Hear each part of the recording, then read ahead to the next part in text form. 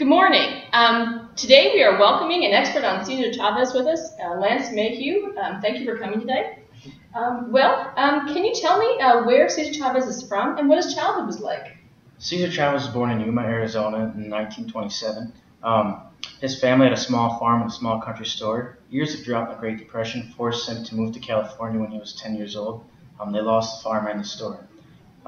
he ended up quitting school at eighth grade, which at that time, that's all you had to go through. And at that time, he had been in 38 different schools. Oh my, wow. Um, well, considering that life, uh, what were his most notable accomplishments? Um, he was had um, established the first successful farm workers union, um, the United Farm Workers Union, um, in American history. This has been attempted by many others, but they had failed. Um, throughout the movement, he tried to get rights for farm workers, um, toilets in the field, the hand washing stations, um, safety from pesticides, things like that, and also rights of women. Wow. Okay. And during this journey of life, what challenges did he face?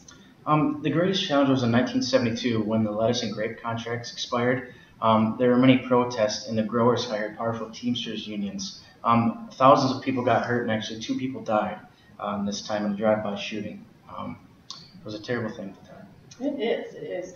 So after all this, what would you say is his legacy? Um, Cesar believed in equality for all people. Um, whether you were a lawyer or a farm worker, he believed that each person's job was just as important as the other. He thought if you put your mind to it, you could do it. Um, he made all people and workers feel like what they were doing was important. Um, so a common man with an uncommon vision, Cesar Chavez really gave hope to all people. All right.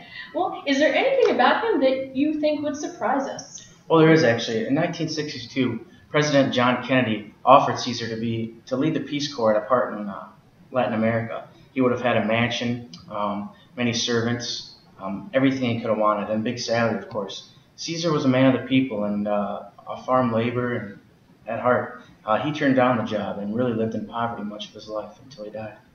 Wow. Thank you. Thank you for joining us today, Lance. And thank you for tuning in.